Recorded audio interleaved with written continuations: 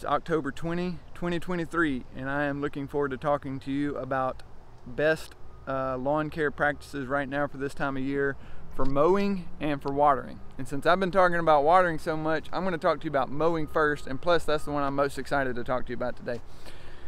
And I'm excited because I've learned something new that I used to uh, not be aware of, and so I'm sure it will be new to most of you. Um, we went to the Deep South Turf Expo in Biloxi, Mississippi this week, and we uh, I go to that every year. Uh, Weed Warriors typically bring several employees down there because we, we like to learn about the new research that's going on, and uh, so we get to, to listen to researchers not just from the southeast, but they usually bring in somebody from the mid-Atlantic, uh, northeast as well, and so. Um,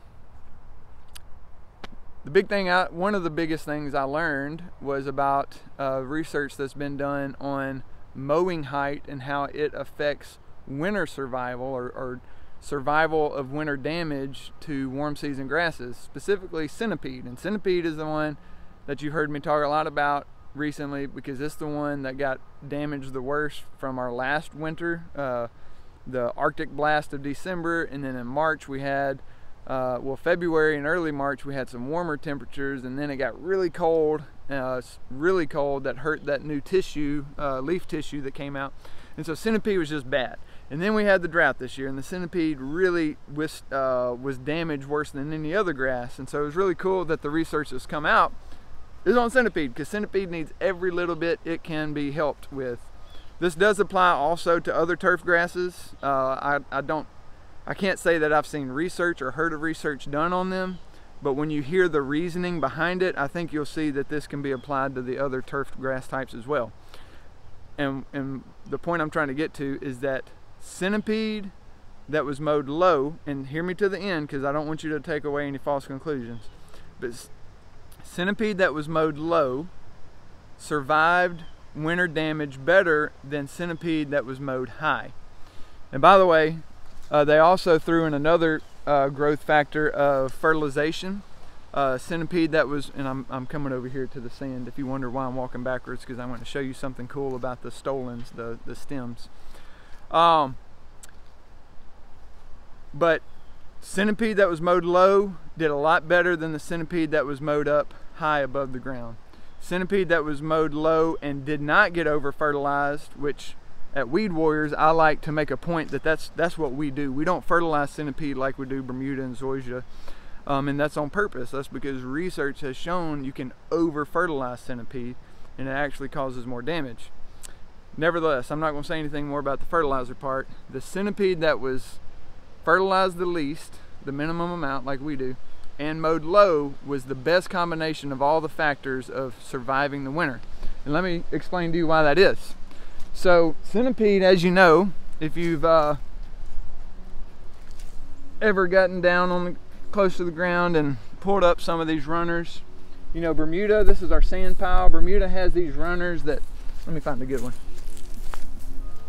You know they run across the ground. This is a sand pile that's running into the sand pile, but this will go across the ground and it'll root down. That's Bermuda. Centipede will do it. St. Augustine will do it. Zoysia will do it. So what's the difference?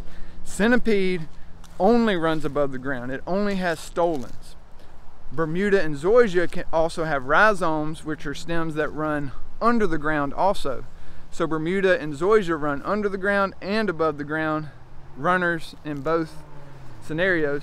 Whereas Centipede and St. Augustine, they only grow above the ground. And so guess what happens with really cold temperatures? There's nothing below ground that can protect uh, the plant as a whole yes, they have roots, but if the stems get really, really cold weather, um, it will affect the plant as a whole and the, um, the stems down low. Well, there are no stems down low. Sorry, I keep repeating myself. But that's why, so, you know, when you mow your centipede really high, or right now, what a lot of people are doing, they're not mowing it because we're in a drought. It doesn't need to be mowed as much, and so people aren't mowing. Uh, it's one thing that you can kind of skimp on a little bit, perhaps. But this is my video to help you to realize why you shouldn't do that. Uh, or at least how it's not too late to turn the ship around. But what I don't want you to do is I don't want you to scalp it. Um, if you have really waited a long time, you might want to you know, compared to the height you've been mowing it all summer, you might want to raise it a little bit, mow it, wait another week or two, and then mow it back to the height that you had been doing all summer. I think it's a little, it's, it's too late to be lowering, uh, like scalp. It, it's definitely too late to scalp it. So don't do that. Don't low it. Don't mow it lower than what you had been doing all summer.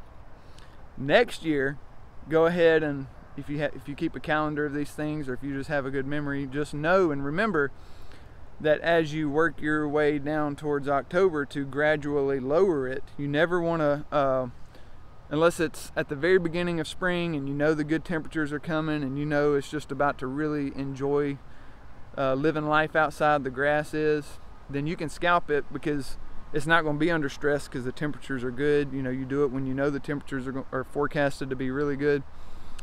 Um, but you don't want to scalp it in the summer because it's already under stress on the heat. You don't want to scalp it right now in the winter time when it's not going to have a chance to put up a whole uh, a, a, lot more leaves to help recover. Uh, but again, I just want to say, but if you just mow it, you know, if you haven't mowed, mow it because lower mowed centipede and I would go ahead and say St. Augustine, Zoysia, and Bermuda as well survive winter damage a lot more and centipede in particular is the most sensitive to winter damage st augustine is also sensitive Bermuda, Zoysia, not as much as the others. Um, okay, water. Let me say real quick. Um, in a typical October, you don't have to water because we've already gotten enough water. There's enough water in the soil profile. This October, much like our August and September, well, similar to our, our August and September, uh, the ground I'm standing on right now, it's it's in a, a really bad drought. Uh, the ground is cracked really bad underneath my feet right here. Um, and so the soil, the grass would benefit from water. Water is, by the way, one of the top three uh, growing factors, uh, plant growth factors. You have water, sunlight, temperature. We can't control the sunlight and temperature. I mean, if you want to make a bigger argument, we can't control water either. No rain, we all suffer. Um, but thankfully, we do have uh, uh, water associations that provide us with water. To that point, know that you know there are some places. I've in particular heard of one uh, in the Jackson metro area that has restricted uh, the way that you need to use your water. So do be aware of that and honor what they're saying because they know better than any uh, normal citizen could know what you know how far we do or don't need to push the different. Um, water tables that are out there. Those the water tables they can recharge, refill, and be back to square one rather easily. But the the water people are the professionals. Trust them with what they say. I, I by no means want to buck against what they're saying. But I also don't want people to live in fear when they don't need to because there's some places that that's just not a concern. There's enough water in the ground because the good Lord has blessed us before July 15th with plenty of rain. Sorry. The point I want to say is it does still need water. This week we're all in the 80s. Uh, sorry, next week we're going to be, well, this weekend and this coming week, we're going to still be in the uh, lower to mid 80s, and that means drier conditions, which means the grass is still under stress. I don't know if I finished my thought earlier. Three growing conditions. Water, yeah, I did say it. Water, light, temperature. Temperature, it is what it is. It's about to get colder. It's not going to need as much, or it's not going to allow the plants to grow as much the sun is what it is but I just want to go ahead and say that so that you can be aware because if you're watching this video you care about how to help grass and plants grow. Um, so anytime that you have limbs blocking just know that that is a factor that affects how the grass grows. Grass prefers all the sun it can get and then water. Those are the big three. Nutrients fertilizer that's a distant fourth. It does help. It can be uh, something that we can talk about another time. I'm going to end there. Let me know if you have any questions. I really appreciate y'all that like these videos. I appreciate it when y'all let me or my employees know that you're watching these videos. It helps me to know that you really are watching. So if you don't mind, like that video, leave me a comment if you have any questions. And uh, if you haven't done this yet, subscribe to the channel. Thank you for watching.